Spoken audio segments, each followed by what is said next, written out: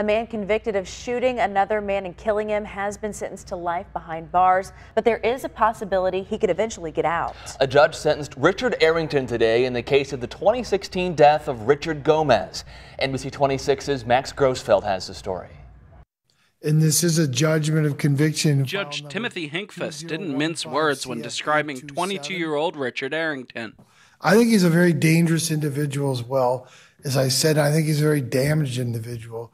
Being a dangerous individual is his choice. This just before the judge sentenced Arrington to life in prison with the possibility of parole after 35 years. And Mr. Arrington, it's scary that you would pull a gun out in the streets of the city of Green Bay and fire off at least three rounds on a house that contained a variety of innocent people.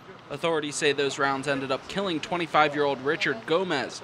His mother, Maria Gomez, spoke at the hearing through an interpreter, saying she wanted the judge to be just and fair. Despite the conviction, Arrington maintains that he's innocent and says he plans to appeal. For now, though, Arrington is on his way to prison. Reporting in Green Bay, Max Grossfeld, NBC 26.